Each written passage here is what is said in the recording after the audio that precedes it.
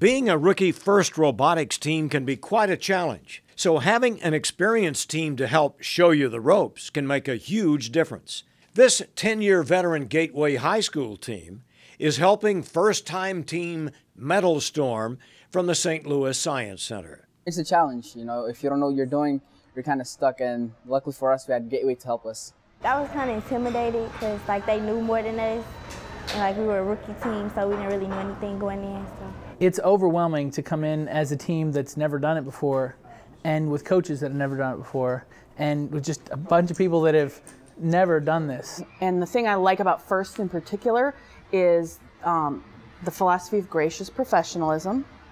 I think that's extremely important. I've, I've even, uh, we've gotten a lot of help from Gateway. They've shown a lot of patience with us and given us a lot of help. And that's evident from the rules of the game, so to speak. You know, we take it for granted that uh, not a single one of us could build this robot by ourselves, but all of us together can bring our skill sets together and build one thing that functions and does what we want it to do. Gateway was very helpful. I mean, there's a lot of stuff we didn't really know when we started out. And so for those guys, they come in and they're just scared. They're worried, they're nervous that are we going to have a robot that drives on the day we go to competition? So we like to be here for them so that when they have a question, no matter how mundane they might think it is, it's uh, it's something that's important because they don't know, and so they can call us and they can ask, you know, hey, how do you do this simple task? You know, they brought their robot in here on several occasions, and we were able to show them, you know, the simplest things uh, that we take for granted how to wire up the robot. You know, in the rule book, it tells you all these things, but you have to know where to find it. And you have to know how to apply each of those little parts. But we've been doing it, and so we just show them. We ran into getting the motors on, uh, getting the chain on, and wiring the components on the control board.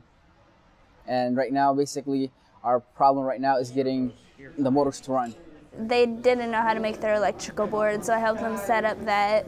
And it's just the basis that they need, and throughout the years, the team will grow. But right now, we're basically their mentors. We took uh, all the help that we got and we put it into work. We're gonna do good. That's what I think, because uh, we have we have the help and resources from Gateway. And we've also been told don't worry, you're just like every other rookie team. And if you don't have anything working when you get to the floor of the competition, other teams will come and help us get ready and get a robot out on the floor. I started off with a team who actually knew what they were doing when I started off, so I had a lot of mentors, so I'm glad that we could be there for them since their team, everybody is new.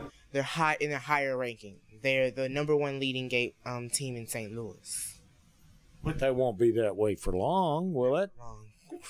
Not when you get involved in it, right? Not when not. Let's give us about a year or two. We'll see who comes later soon. it's called gracious professionalism. Just one more aspect of FIRST Robotics. For the St. Louis Science Center, I'm Al Wyman.